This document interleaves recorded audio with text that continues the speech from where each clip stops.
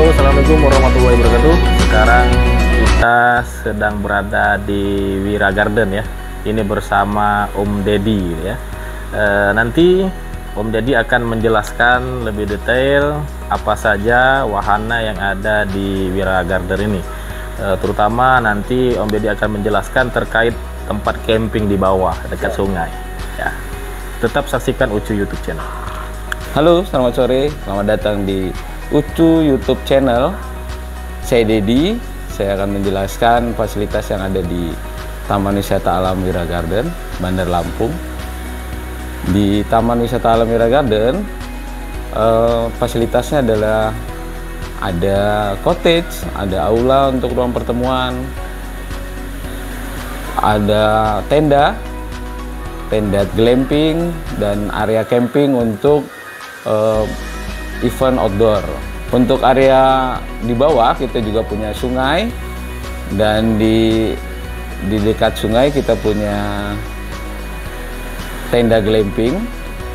Fasilitas tenda glamping adalah di dalamnya sudah include uh, tempat tidur, kasur, bantal, alat masak, alat barbecue, sudah ada juga kompor plus gas dan dispenser plus galon. Itu fasilitas-fasilitas yang ada di Taman Wisata Alam Miragarden.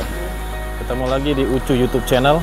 Hari ini kita lagi berada di tempat wisata. Di mana Kak Ayah? Wira Wira Garden. Ini Di Wira. sini ada tempat fasilitas Untuk- campingnya tuh di situ. Oh, iya. Satu satu malam 500. Oh, setelah lima- itu guys. Tempat camping jadi disediakan di sini di tepi sungai bebatuan ya. Tempatnya bagus, sejuk di sini dingin. Oke, kita review eh, Wira Garden ya. Tetap saksikan di Ucu YouTube channel. Oke, di sini kita masuk dari sana tadi ya. Nyebrang ada jembatan bambu. Nah, di sini juga bagus untuk spot foto. Jadi banyak bebatuan di sini ya, untuk buat foto-foto di sini. Kemudian nah di sana. Eh, di sini juga disediakan tempat untuk eh, kemah ya. Eh, ada tenda-tenda. Informasi yang kami terima bahwa untuk satu tenda ini satu tempat ini satu malamnya 500.000. Cukup seru ya di dalam tengah hutan kayak gini ya. Tapi sejuk di sini. Ini ada suara air ya. Bagus. Tuh, adek Ryan lagi main air.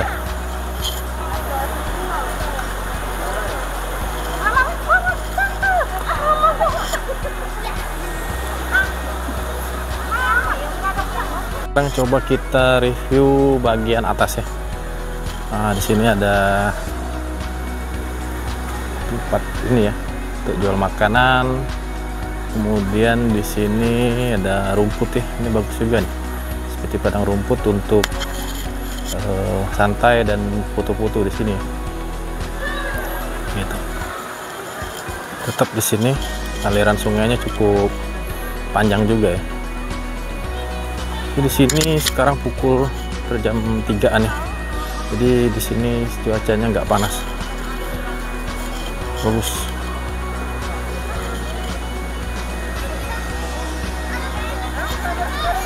Oke, jadi aliran sungai ini mengelilingi area eh, bukit ini, rumput ini. Di sana juga aliran sungai juga seperti ini.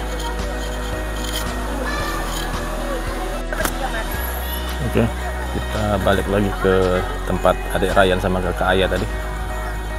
Jadi di Wira Garden ini eh, wisata yang disajikan adalah wisata alam. Ada sungai bebatuan ini untuk camping ya.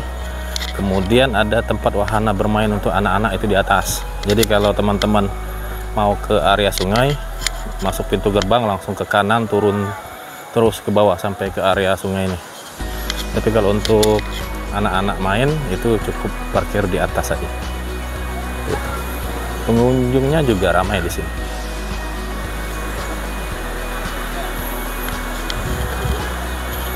Oke, jadi kita main air dulu. Ini kakak ayah. Kak Ayah. Pengen nyemplung. Bukan nyemplung, nyemplung lah. ya, ini ya. Di airnya sangat dingin guys. Tuh dari sana. Nah, licin bawahnya. guys, jadi kita bisa santai di pinggir sungai sambil mendengarkan suara gemercik air ya. Gitu. Dan suasana cuaca di sini juga eh, tidak panas ya karena banyak pepohonan di sini. Oke.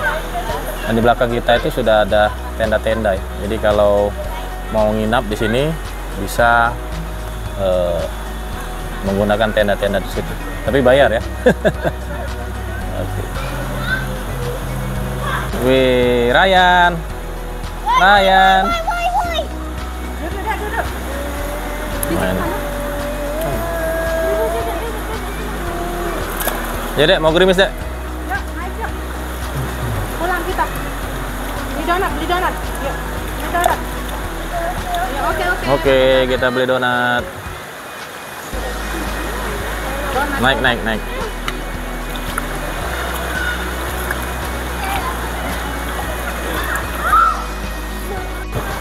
Oke guys, kita lanjut pulang dulu karena udah jam setengah lima ya.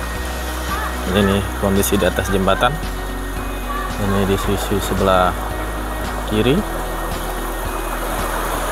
dan ini sisi di sebelah kanan jembatan.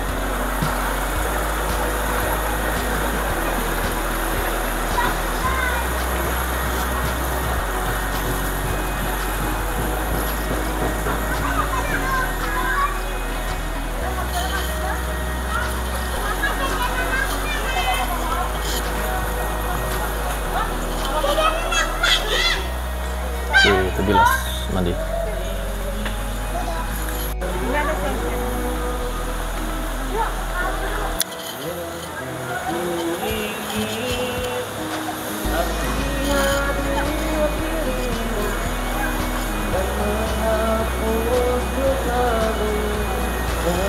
Seru guys kalau camping sama keluarga dan rombongan.